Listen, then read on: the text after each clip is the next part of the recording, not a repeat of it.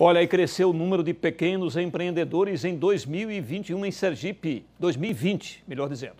A pandemia incentivou o aumento nos registros de pessoas que buscaram abrir o próprio negócio.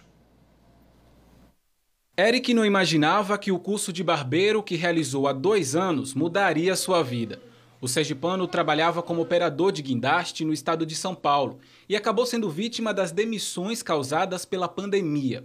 Agora, ele comemora um mês como empreendedor individual. Estou satisfeito que hoje tenho meu, minha empresa, minha microempresa, tenho, pago meu INSS para contribuir minha minha aposentadoria. A história do Eric se encaixa perfeitamente quando a gente destaca essa realidade em dados. Números do Ministério da Economia mostraram que de janeiro a novembro do ano passado, mais de 5 mil postos de trabalho foram fechados. Daí, mais pessoas procuram abrir o próprio negócio. Aqui no estado, esse crescimento foi de 37%. Em Sergipe, mais de 14 mil pessoas se formalizaram como MEI em 2020.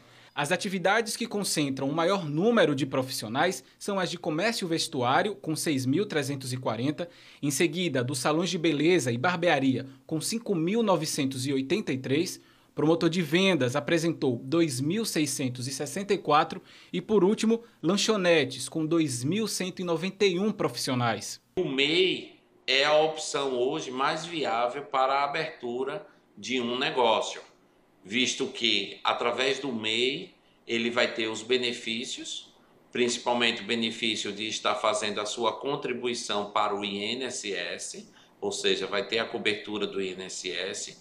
Além disso, vai ter o CNPJ, que vai fazer com que a empresa dele seja reconhecida no mercado como uma empresa. Ainda segundo o analista, esses números podem aumentar neste ano. A tendência é que continue a aumentar pois o crescimento da economia, como nós estamos percebendo, será lento, mais pessoas provavelmente poderão ficar desempregadas e aí vão ter que ter outras alternativas de renda, né? Vão ter que abrir novos negócios, né?